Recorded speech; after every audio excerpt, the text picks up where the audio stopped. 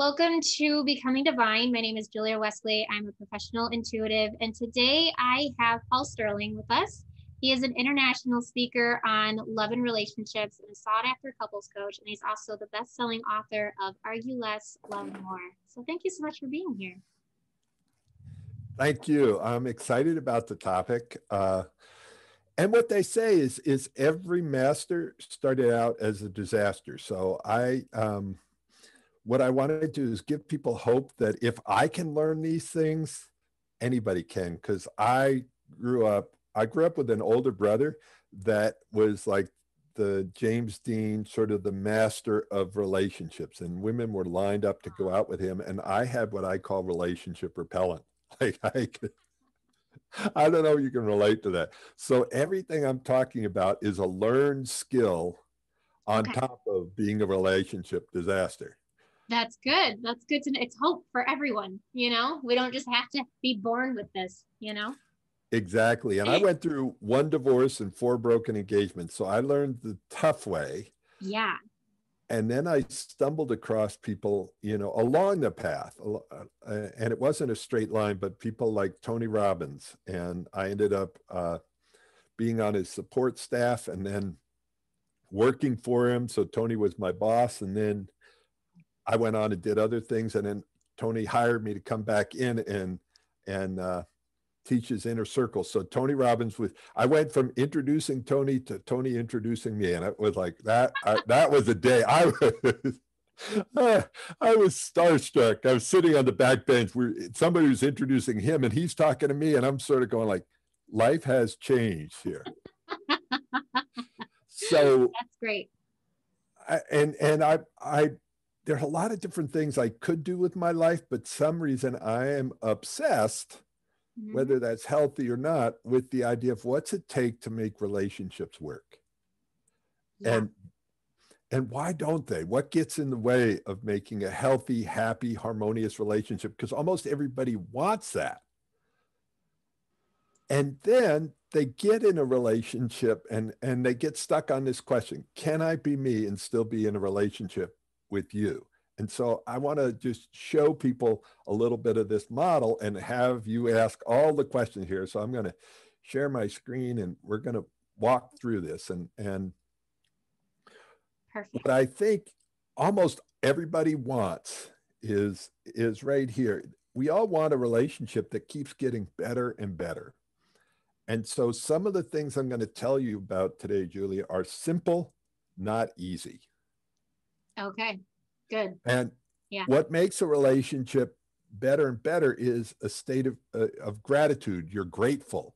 You know, so like in the beginning of a relationship, your partner brings you home a rock and you're like, oh my God, he brought me a rock or she brought me this. It's like, you know, and it's it's easy to win, hard to lose. That that makes sense. You know, you do a little thing, yeah. you do the dishes, you make a meal, and and they're happy.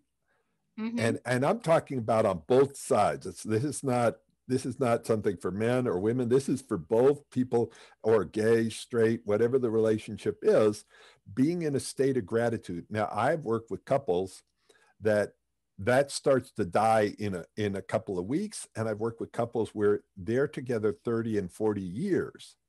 In fact one one couple just read my book and loved it. And they've been together over 50 years. They're in a state of gratitude yeah. and they love the differences. Yeah. Now, here's where it starts to turn to crap or whatever.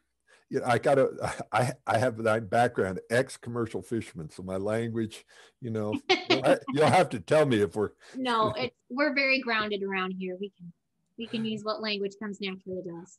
Okay, so here's where the relationship starts to turn to crap. Uh-huh. Is when we take each other for granted and it starts to become easy to lose. You bring home the rock and it's like, what do you mean? It's not a diamond. It's like, you know, it's mm-hmm. not good enough. And it becomes really hard to win. Yeah. And what I want to talk about a tiny bit masculine and feminine minds are wired differently over thousands of years. We've been wired differently. And and that's changing that we're in the we're in the place where evolution. We're not growing a third arm or something like that. The Mhm. evolution is an internal evolution versus a physiological evolution. We're evolving to how to survive in, in the new world, and relationships are changing. And so we're we're dealing, we've got like the old model of masculine and feminine, or men and women, and that's changing. Yes. I Women, can I can I interject? Can I ask a question Yes. or at least make a comment? So when you were talking about gratitude, um, it's funny. I'm starting a gratitude practice. I'm reading this book. We're doing exercises, and it's funny when you mentioned the rock. One of the practices is literally a gratitude rock. You hold on to the rock and you think about the best thing that happened during your day. And today is the day where you focus on three things about uh, three people that you want to have a better relationship with and then you just repeat it throughout the day. So I just think that in my world is called synchronicity. that's that's so perfect. And and here's the simple thing. It, it- I'm going to tie right back to what you were saying. If the quality of your if the quality of your life is based on the quality of your relationships. Mhm. The quality of your relationships is based on the quality of your communication. When your communication falls apart, so does your relationship. So that was a lot. People may want to repeat that, hear that again. quality of relationships, quality, quality of life, quality of relationships, quality of relationships, quality of communication. When communication falls apart, so does your relationship. Now, the thing that's going to tie into what you were saying is that if you want to be successful, you learn how to talk to other people. If you want to be happy, you learn how to talk to yourself. And the thing that most of us don't do that you're teaching right now, I think, is also to be grateful for ourselves, not just to be grateful for everybody else, but why am I glad that I'm me? yeah. What am I proud of? How am I excited about my life? Yes. Versus, oh my God, why didn't I, why wasn't I born like them? Yeah. Why don't I look like them or have their money? So it's like one of the best relationships we can have is one for ourselves. And are we grateful for ourselves or are we taking ourselves for granted? Bingo. Yeah. So I love that that ties totally into what you're teaching. And it's the micro and the macro. Yes. So down here, and we're going to dive into a little more, but is something called the PONR. Do you know what that stands for? no. Point of no return. Ah, okay. So certain if we don't handle these issues, we end up at the point of no return. So this is what relationships look like. We have five different zones. And right now it's uh, about 55 to 65% divorce rate and relationship failures way more than that. That's just divorce rate. so here are the five phases, and then we're going to dive into the model. But I just want people to see this. Relationships can be in crisis. Crisis. This should be conflict. Conflict. Stuck in a rut. Good. Great. Now, if you think about it, Julia, are 55% of the people in great relationships getting a divorce? No, probably not. In good relationships. Doesn't I wouldn't think so. Yeah. So it's like down here, it's people who are in crisis, it's more Yeah. like 80% of those. And I don't, I, I think it's probably not even 5% of the people in great. So if you want your relationship to last, Mhm. it's moving it over here. yes. That's how you make bulletproof relationships, whether bulletproof probably not the right term, but it's, it's, Makes sense.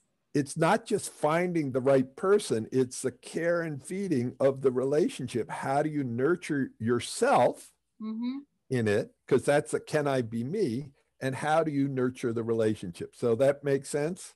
Absolutely. And there's different things to do in each of these phases to get from here to here to here to here to here. So if you're down here, this is crisis is ER. You're headed for the emergency room. You need a coach. You need someone to kind of intervene and Yeah. stop the bleeding. so let's look at here's here's the model, and I'm I'm showing a lot at once here, so let's isolate it a little bit. Okay. And slow me down if you need to. This line right here is at the bottom. I'm sacrificing myself. Up here, I'm being myself. Okay. Over here, I'm disconnected, and that can be disconnected from myself or disconnected from you. I'm mm-hmm. over here, I'm connected. So let's take a look, and I'm going to blow this up right here. This first corner is where I'm disconnected and I'm sacrificing myself and I'm in a fear based relationship. Yes. And I could, I, I'm going to tell you the story I told before. I, I traveled around the world as a business consultant. And what that typically means is I was an international problem solver. When a government or a business couldn't solve their problem internally, they would bring me in. And so typically it had to be a big problem because people don't want to bring in somebody outside to solve problem. uh-huh. Anyway, the city of Albuquerque brought me in. I was working with their different departments. Most of their top management went through my course on quality, productivity, and leadership. Now, that gave me a way of thinking about relationships that's different than most people. I look at the underlying system, not the symptoms. Does that make sense? I actually love that because when you focus on the system, it sort of removes uh, your identification with the problem. Like you're not the problem. It's what are we doing? What's the system? Is the system breaking down? And I think that makes it easier to work with. Yeah, because when I work with a couple, and I work with couples from, I've, I've got couples from England and India and uh, Australia and around the world. We work on on uh, over Zoom, and what we're doing is they typically come in trying to figure out who is the problem. Like I'm just with, I'm here with them. Yeah. They're the problem, and if you could fix them, I'm just here to make sure they show up. Right.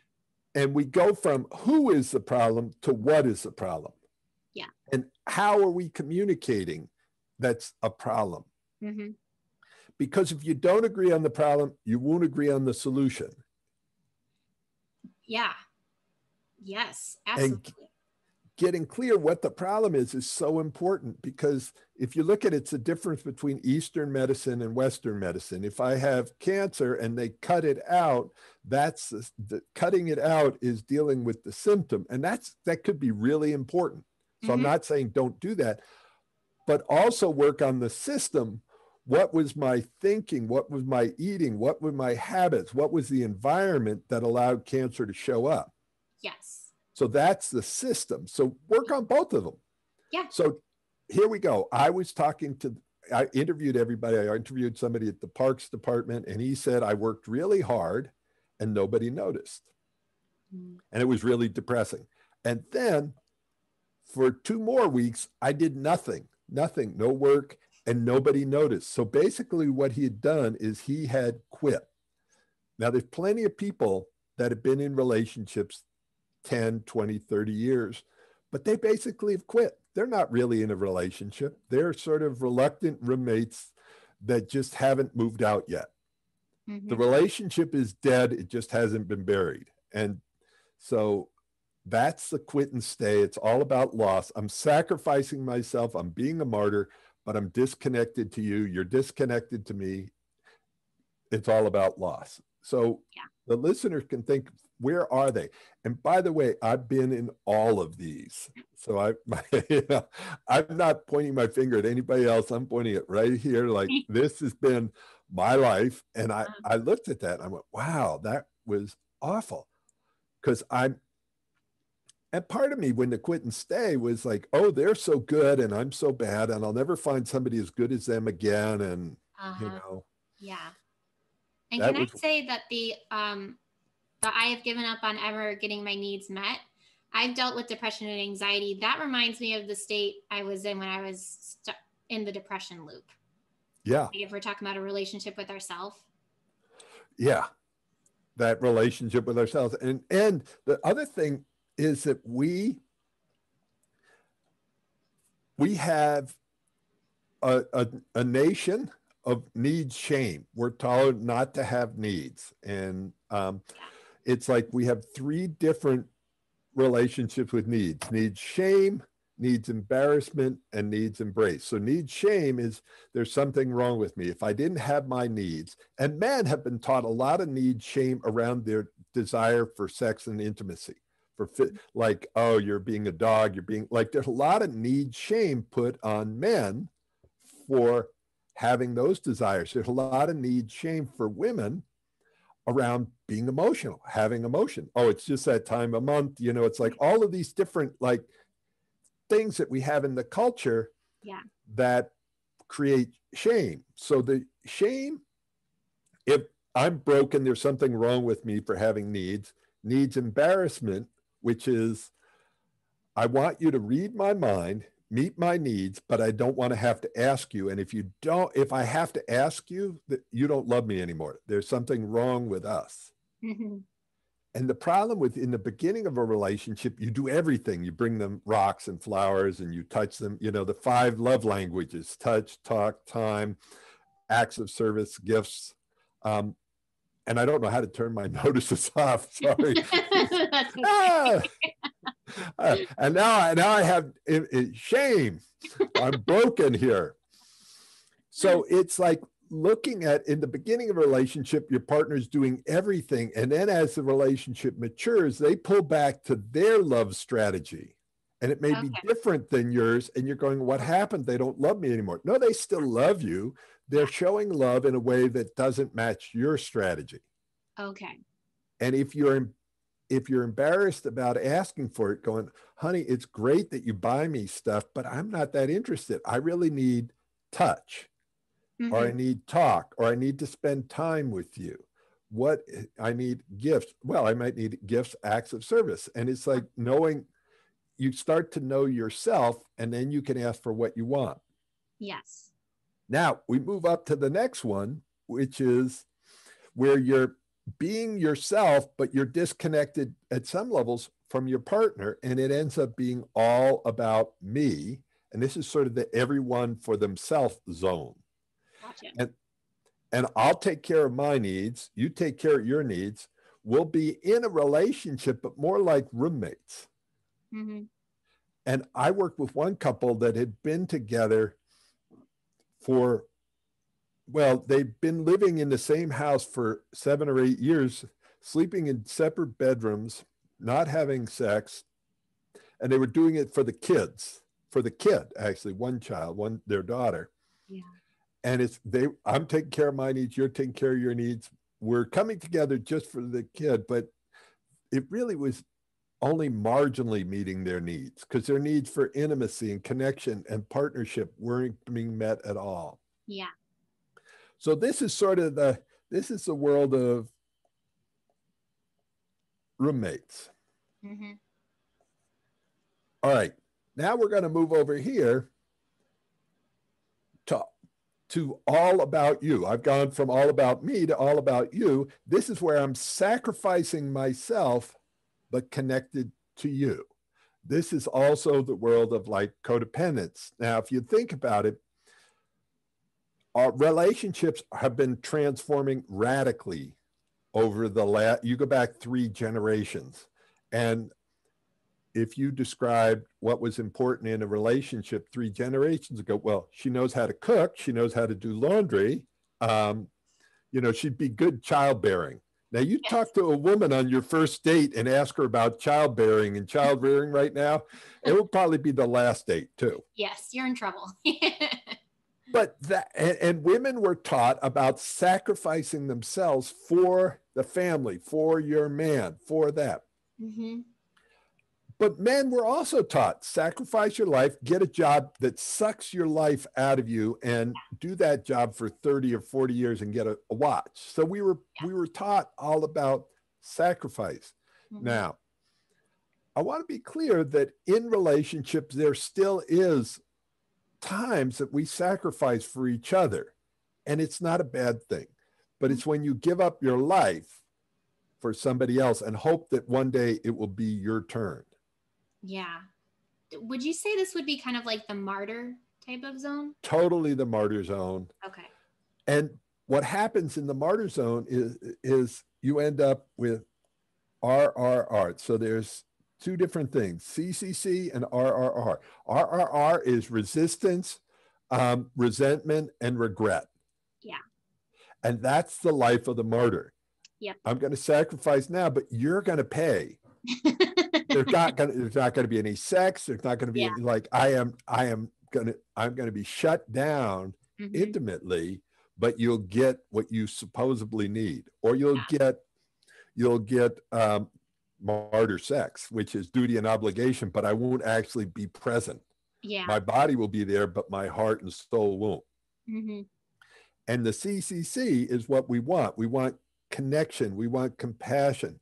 We want cooperation. We want to create a level of partnership. And, and that's where we end up up here, where I'm being myself and I'm connected to you, and you're being yourself and connected to me. And this is where we treat each other's needs as precious. Like at the other side, we're treating our needs as a burden. Yes. And I'm treating your needs as a burden. And this tends to be a, if men tend to have a harder time having needs, like talking about their needs hmm and being able to hear a woman's needs without hearing it as a demand and a burden. You're so needy, you know. And what I say, to, I had one of my friends who I had been to Alaska with. He was my business partner for years, and I asked him, "How's your relationship?" He said, "Oh, I, I, I had to let her go. She was so needy." And I laughed. I said, "Oh, in other words." Her needs got in the way of your needs, and you didn't know how to get both sets of needs met. So you prioritized yours and got rid of her. hmm And so it's learning how to be with our needs and trust ourselves. So I'll just say one other thing about trust here is that in a relationship, we normally think about trust this way. It's like, can I trust you? Will you keep your word? Will you keep will you respect my boundaries? Will you have my back?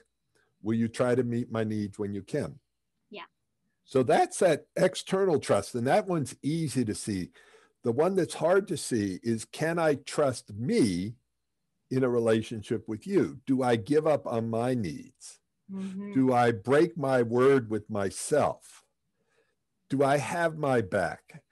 Am you know, do I treat myself as precious or do I think you're the you're the prize and I'm the problem? Yeah. I think um, in my community, that is something that people struggle with a lot. And they have a tendency to think that this person out there that they're looking for is going to be this magical, magical person. And they don't see themselves as someone who is um, perhaps that magical themselves. And so it's it's very much focused on how do I get this person? How do I attain this person? How do I find them? And then how do I keep them? um, and then we completely lose connection with who we are and what we need you know Yeah, and and that we're also the prize. And see, this is where we're taking ourselves for granted. yes What we bring to the relationship and was like they're this super prize. yes and and here's the thing it's like if you look at relationships i didn't think i was going to talk about this but this will be really quick there there's three levels that you are you're either the catch now in hollywood the catch is the cheerleader or the football player or the you know someone who's like in the in crowd Yeah. i'm not talking about that catch that Mhm. catch can be miserable to have if you actually catch them it could be like hell yeah I'm talking about the catch is someone who, in that relationship, they bring you up. They see the best in you. They bring the Yeah. best out in you, and you bring the best out in them. hmm So you're either the catch, the compromise, like I wanted that, but I got you. And you always feel like, oh, and I've been that. Like I was at one point, I was dating this woman, I was engaged to this woman who was like an actress and, you know, in Hollywood and beautiful. And like, and I always felt like the compromise. oh that's a terrible feeling it is. Yeah. And then there's the catastrophe. And the catastrophe is when the relationship ends, you need three years of therapy even to like yourself again. yes. Yeah. You know, it could Uh-huh. involve abuse, mental, physical, emotional, drug abuse, alcohol abuse. It's like, wow, what did I do to Mhm. deserve this? So, just a couple of quick other things. You see the FLP in there. So, in a relationship, there are three different relationships. So, if you're in like a long term monogamous, even a long term polyamorous relationship, whatever format, people have three different roles that they play with you friend, partner, lover. So, friend, it's what a friend is. They got your back. You can, they, they don't judge you. You can talk about anything and everything. Partner is you're on a team. You feel supported. There's common vision, vol, common vision, goals, and you're working towards something together. If you if you live in a house together, your partner's in paying the bills, taking care of the house, dealing with stuff. Mhm. Um, the next one is lover. And when you're in lover, that's romance, intimacy, and intimacy's got emotional, physical, sexual intimacy. Are you doing things? The thing that's critical about lover is it needs to be watered regularly. Mm. Friendship, I can I cannot talk to a friend for years and we get back together, boom. Yeah. So is this all making sense? This picture here? Very much so. So I want to give one last picture and then I'm going to leave it in your hands is like there are seven essential skills. So we talked about this I think before we got on and maybe even during this is like there's a Hollywood thing of happily ever after or the new age thing of finding my twin flame or finding my soulmate and then it's like winning the relationship lottery Yeah. once I win the lottery, I can stop working on myself. I can I can sit on the couch and eat donuts. And your your obligation is to love me no matter how much I don't love myself. Yes.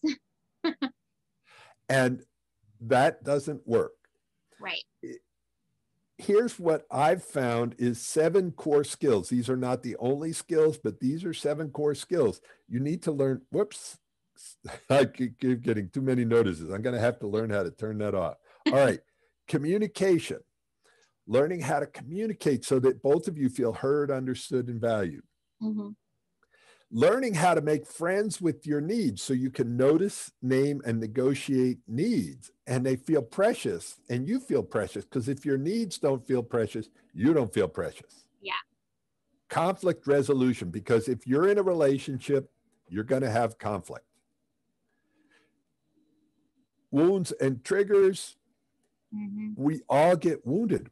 There's betrayals, there's lies, there's cheating, there, you know, and I'm not making any of that okay, but most long-term relationships, you've got to deal with some wounds, and we either get bitter or we get better. Yes. And if we don't get better, the relationship keeps getting smaller and smaller, and pretty soon it sucks the life out of it. Building trust, we already talked about trust, the three shades of intimacy. Are you, intimacy actually is uncomfortable. Most people say they want intimacy and then run from it. hmm So into me see, I'm allowing you to see my not only my dreams and my desires, my vulnerabilities, my weaknesses, my fears and doubts. And there's emotional intimacy, physical touch intimacy, and there's sexual intimacy. Last one is dealing with differences. It's the D's, dealing with differences, difficulties, and decisions. And anytime a committed relationship happens, you've got to deal with this. And if you're not good at it, every decision is going to be, or every difficulty is going to be a meltdown and it's going to rip you apart rather than bringing you together. Yeah. So when I work with couples, I, I take them through. First, they look and go, where are my strengths? What's my, you know, what's my superpower? What's my kryptonite? Is that making sense? Yes. Yeah. Do we, how are we on time? Do you have five more minutes or? Absolutely. Yeah. Okay. I'm going to give the big picture. This is, I, I, I was in New York City a couple of years ago and I got on the subway and it's like overwhelming. Uh, there's, I don't know what it is, 472 miles of track and there's, I don't know how many stations. It's just overwhelming. yeah. And the thing is, without a map, it was impossible. With a map, it was complicated but doable. Yeah. So in relationships, relationships are more complicated than we, than we want them to be, but they're simpler than we think they are because nobody's ever given us a map. Mm-hmm. So, Julie, I'm going to take you through a map, and I, I want you to, like, if any place is confusing, slow me down. Okay. So, in the center of the map, what we have is people, most people on your call probably want lasting love. And mm. to have lasting love, you need three major components. You need to be available, mentally, physically, emotionally available. Like some people say they're on Tinder or on eHarmony or they're they say they're available, but they're not really.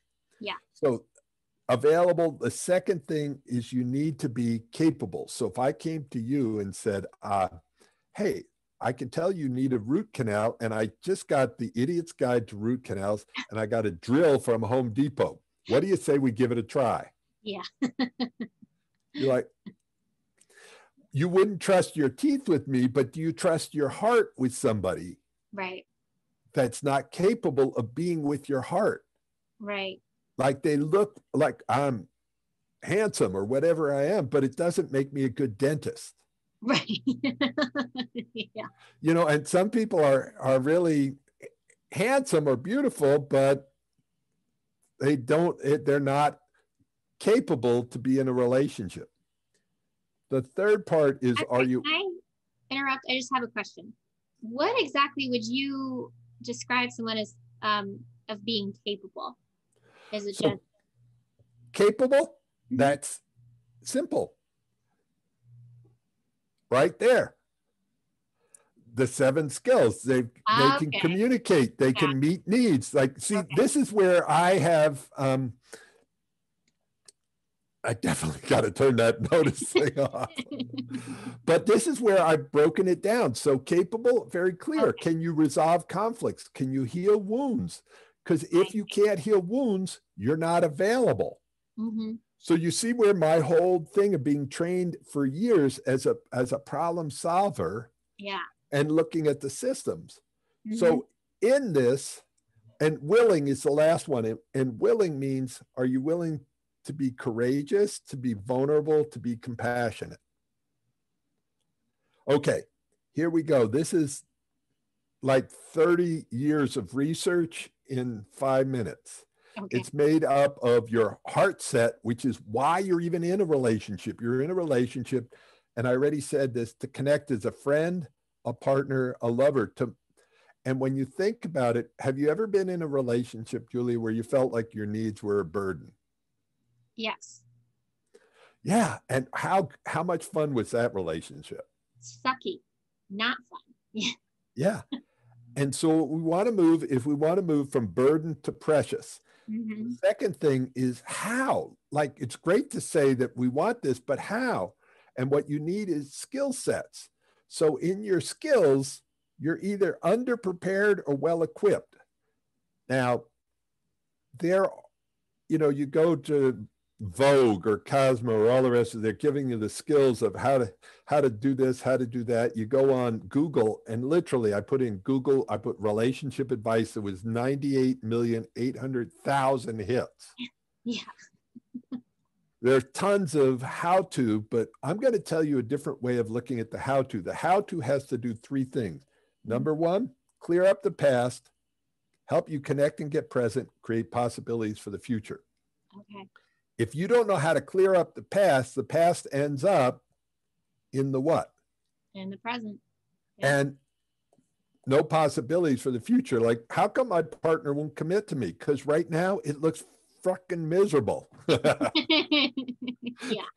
Sorry, that's English though, but it's like, so what we want to do is we want to learn how to clear up the past. And by the way, guys, here's the best aphrodisiac out there to be able to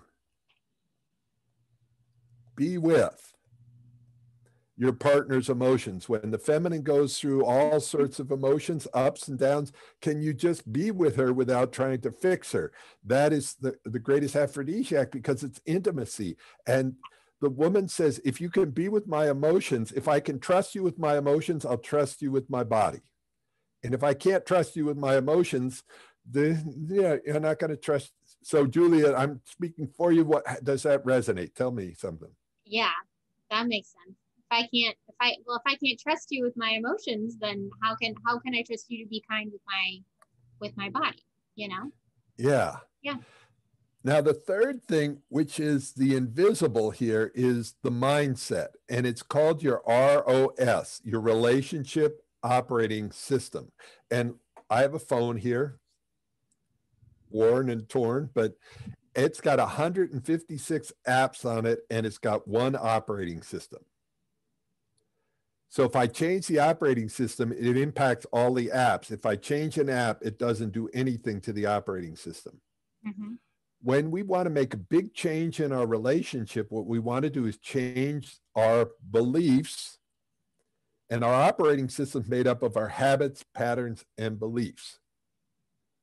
And they're set up either to sabotage us or support us. Have you ever seen when somebody's in a relationship and it's going really good and they just do things and it screw it up? Yep. That's because it's some unconscious belief, some old program. Mm-hmm. And the way I look at it is I want to sell you a program. Now, here's the program. It was designed about 30 years ago. It was created by a seven year old that had their heart broken and they saw their parents fighting all the time. And it's full of defects, incompatibilities, and viruses. It's going to make all the most important decisions in your life, like who you're going to love and how you're going to love them. How many of these programs do you want and how much do you want to pay for it? Yeah. yeah but people don't know that and so yeah. it's like learning about your programming and mm-hmm. finding out is your programming designed to sabotage you or support you and what i do is i do something called a relationship breakthrough session and we we dive in and we look at where you are now where you want to go and what's in the way are you set up to win or to lose are you set up to sabotage or support are you underprepared or well equipped Mm-hmm. So um, if people want to get a hold of me, that's that's something that's that I do with people, and then give them like a 90 day program to kind of reprogram themselves. Yeah. So there you go, Julia. There's a, the map of relationships. I love it. Thank you so much for sharing that. I so what is uh, great about this is that I do see a whole lot of um, sort of like woo woo characteristics it, especially in the mindset, the beliefs, the past. Um, if you don't take care of it, it shows up again in the present. That's what we call the um, obviously repeating patterns. But sometimes we refer to that as being like sort of stuck in the same timeline, just repeating the same thing over and over again, but just doing it slightly differently. Um, so I, what I love is that it incorporates that aspect of it, but it's so grounded and real that it uh, makes it seem completely achievable and it makes it seem normal almost. Yeah. And, yeah. I love that. So, and the feminine can relate to it and the masculine can relate to it. Uh-huh. Exactly.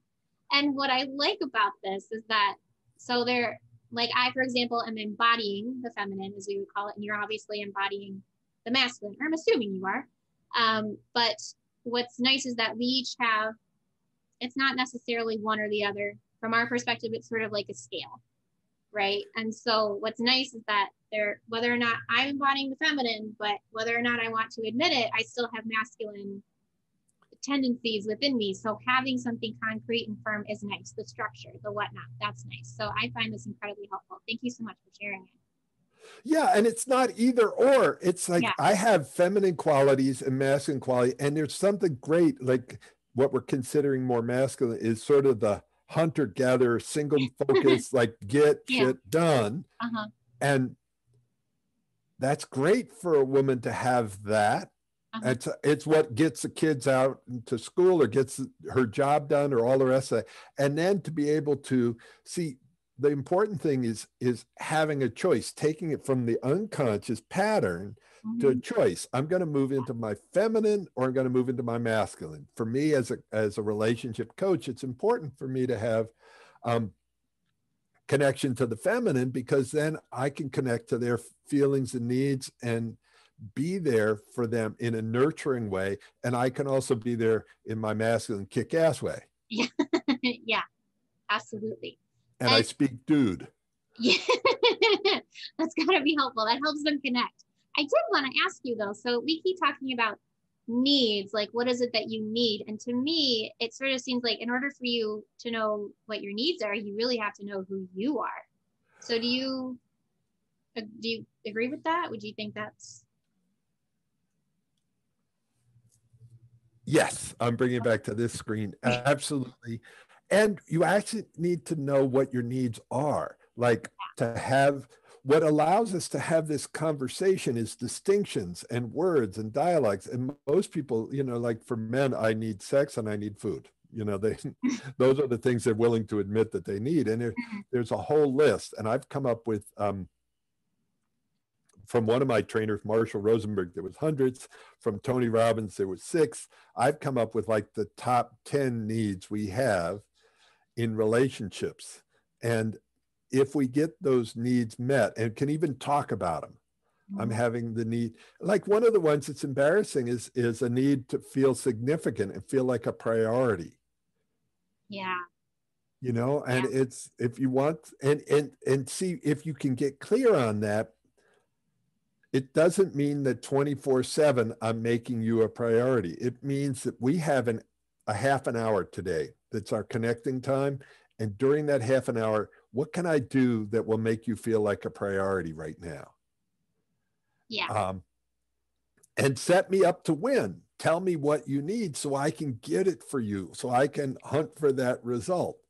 And so variety we need variety we need significance we need connection we need intimacy those three different shades of intimacy growth contribution um, and go through it and be able to identify it. I've never had anybody come to me and go oh man you know my top 10 needs are all getting met at seven eight or nine. I think i'm going to get a divorce. Yeah. So it's understanding this and and building your skills to be able to notice name and negotiate your needs yeah. and not feel ashamed of them so i i'm wondering on your take on this i know quite a few men who actually i don't think prioritize their own needs um i think that they're sort of stuck in the provider kind of paradigm and I think that they have a hard time feeling good about demanding that their needs be met. Do you well, yeah, I, I'm, I'm, I'm all about language, and as soon as you demand that a need get met, you're going to get resistance. So it's not about demanding; it's about yeah. making a beautiful request, mm-hmm. and and being a provider is one of our needs. It's a need to contribute.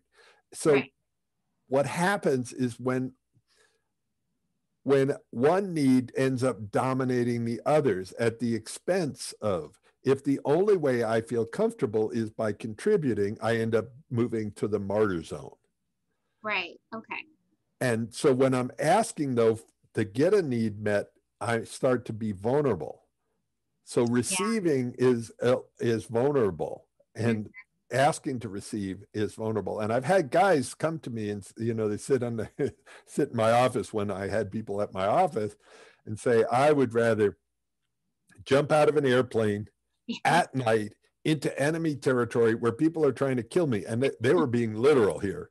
Yeah. Then I would talk about my feelings and needs. And it's it vulnerability we we were taught especially among the masculine that vulnerability equals weakness Yes. And vulnerability is one of the most courageous things we can do. That's why it's so hard. Mm-hmm.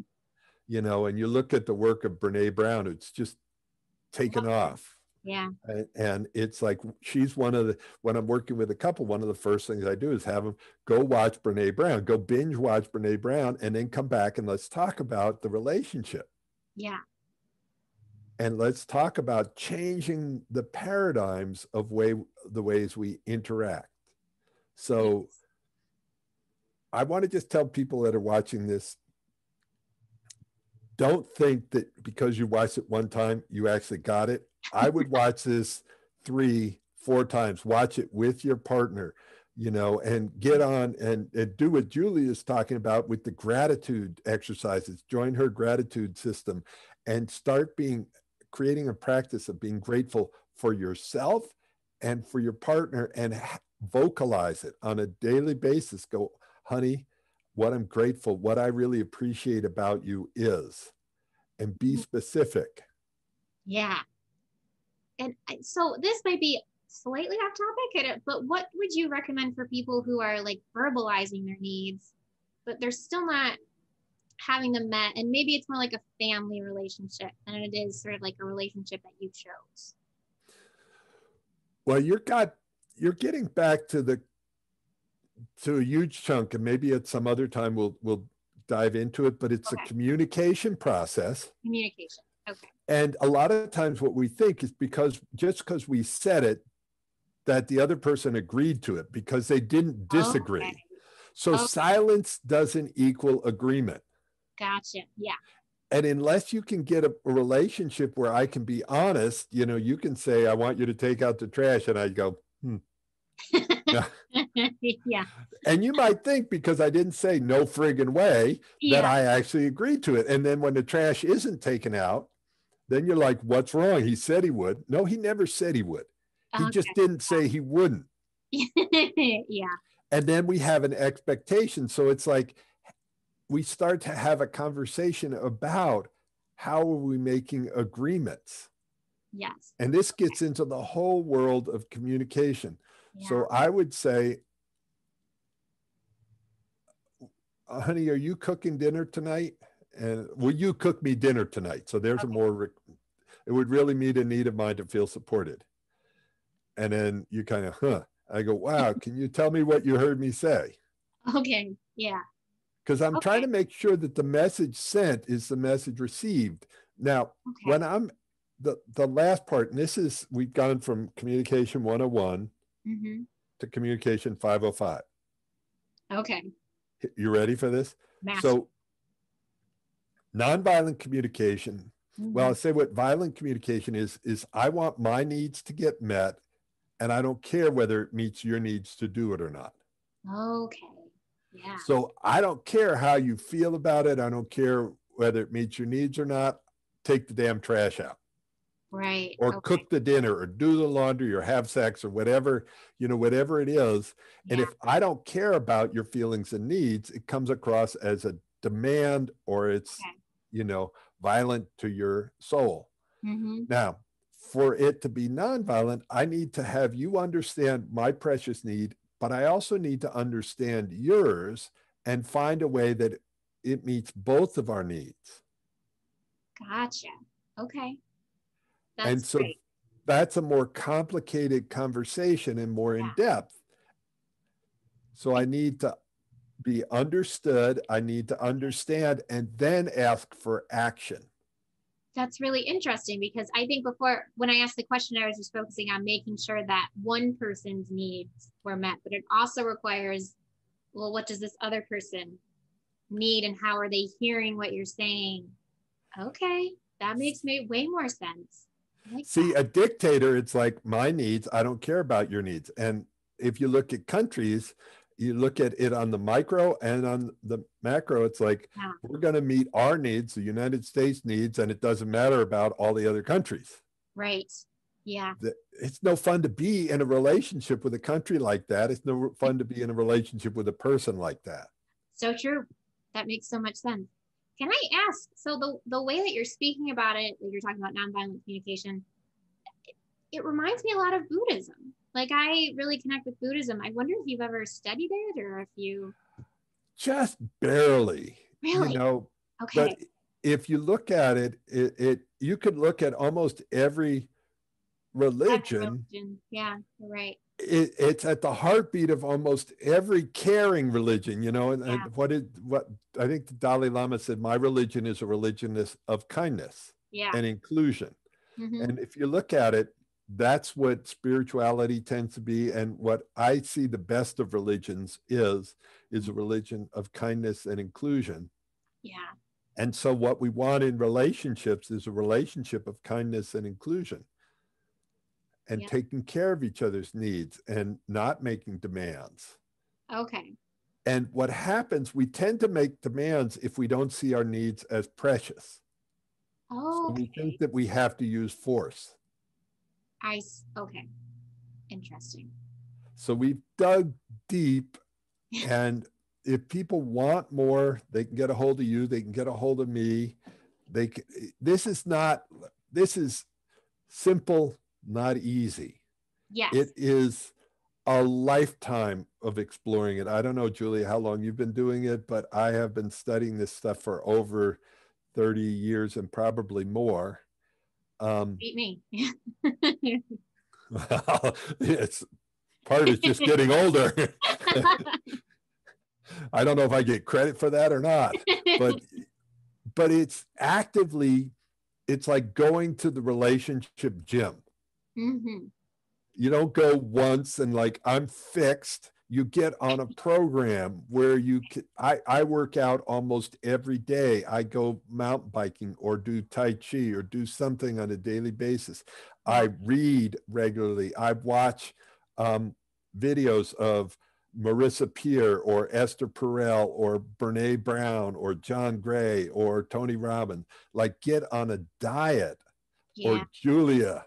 You can watch get on a diet of of healthy stuff for your mind and your soul and your relationship and practice it.